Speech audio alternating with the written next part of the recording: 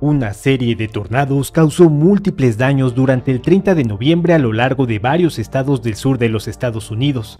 Las autoridades acaban de reportar la lamentable pérdida de una madre y su pequeño hijo, así como daños materiales impresionantes.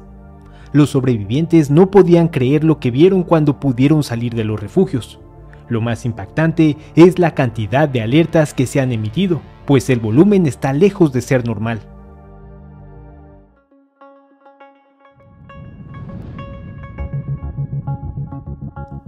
Un residente de Montgomery, Alabama, dijo que escuchó la alerta por tornado a las 3.30 de la mañana. Él y sus vecinos huyeron hacia el refugio para tornados de la comunidad. Cuando salieron, parecía que todo había sido borrado del mapa.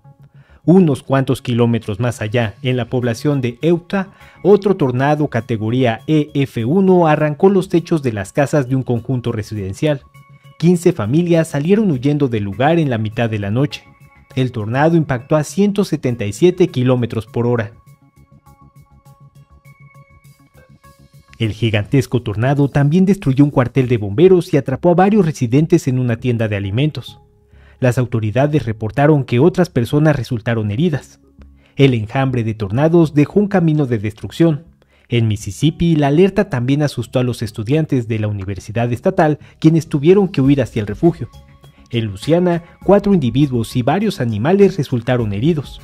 La amenaza de tormentas devastadoras sigue vigente. Los meteorólogos señalaron que desde la tarde del martes hasta el miércoles por la mañana se emitieron 73 advertencias de tornado. Comparte esta información para que más personas se enteren de lo que está pasando en nuestro planeta.